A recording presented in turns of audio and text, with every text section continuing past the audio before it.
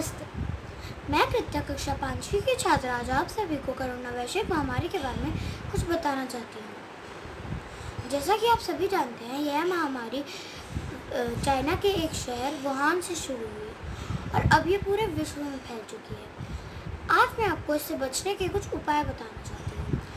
जैसे कि दिन में बार बार हाथ धोएँ और कम से कम 20 सेकंड तक हाथ धोएँ।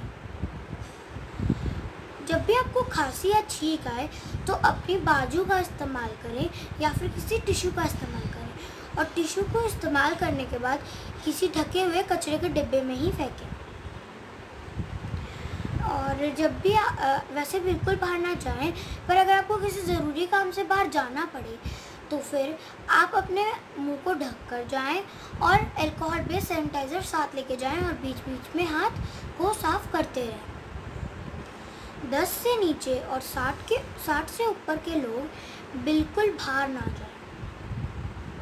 और जिनको कोई पुरानी बीमारी हो, जैसे कि डायबिटीज़, दिल की बीमारी या फिर अस्थमा तो वह बिल्कुल बाहर ना जाए क्योंकि उनके लिए वह घातक हो सकता है।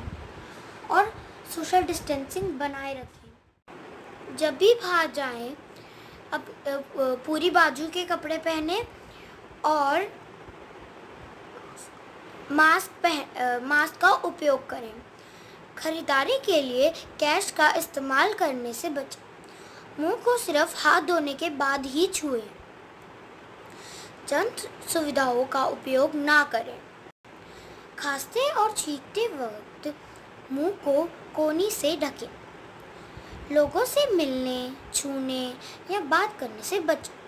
सोशल डिस्टेंसिंग बनाए रखें।